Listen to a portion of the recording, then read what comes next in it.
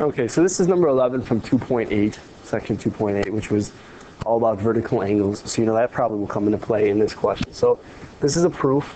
Obviously, it's a proof because it doesn't ask you to find anything. It asks you to prove a conclusion. Well, the conclusion is that angle 1 and angle 2 are congruent. So, you're given that GD bisects angle CBE. So the fact that GD, um, this line here, bisects angle CBE tells you one thing in particular, and that is it cuts that angle in half, which means angle 2 is congruent to angle 3. So the first thing I want to do, always is write the given. Second, I'm going to look at what I'm, what I'm given and see what I can say from that. so angle 2 is congruent to angle 3. That is strictly from the given, and if bisector, then two congruent angles. Okay? So that's what I, I use the given. So now I got to look at the picture and see if there's any other information I can use to finally prove what I'm trying to prove. That is angle 1 and angle 2 are congruent.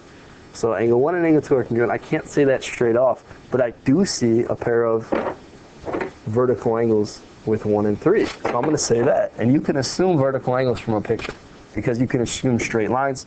You could assume vertical angles. Angle 1 is congruent to angle 3. I'm actually going to write it in a little different order. I'm going to say angle 3 is congruent to angle 1. You're going to see why in a second. So you can see that transitive property. But this is what we learned in 2.8, which is if vertical angles, then they are congruent. So I see, okay, I got 2 is congruent to 3, 3 is congruent to 1. So you see the ends of the chain also need to be congruent